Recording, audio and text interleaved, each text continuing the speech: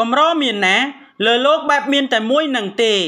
អនាគតប្តីជំទាវត្រីដាណាមុននឹងចូលនៅ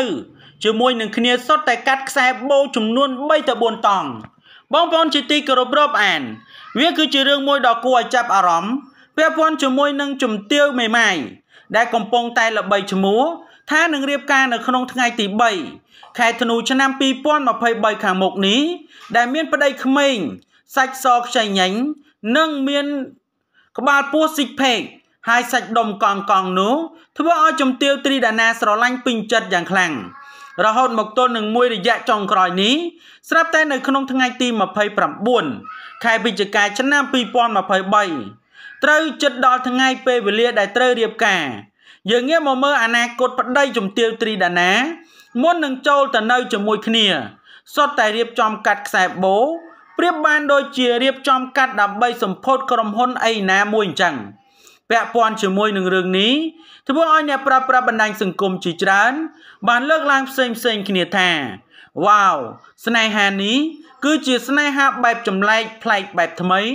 ជាពិសេសគ្រាន់តែចិត្តរស់នៅជាមួយគ្នាគេកាត់ខ្សែបូដើម្បីសម្ពោធនិង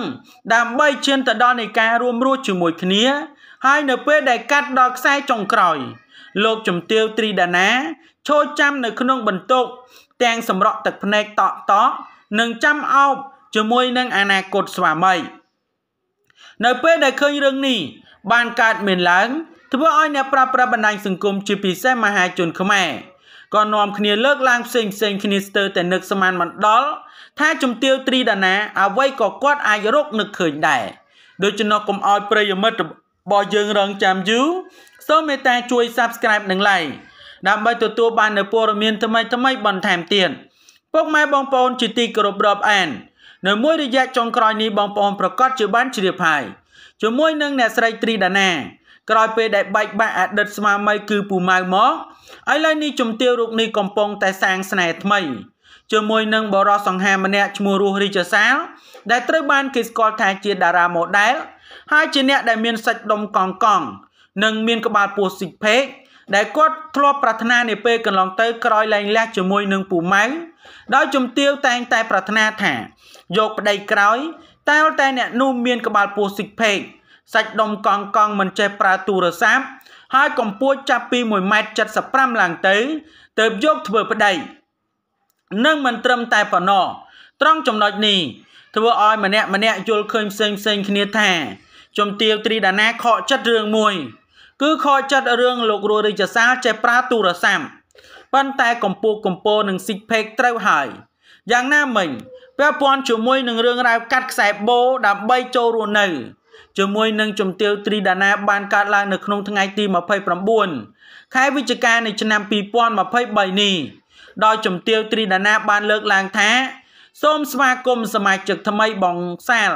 ថ្ងៃនេះគឺជាថ្ងៃល្អគឺជាថ្ងៃដែលបងសាល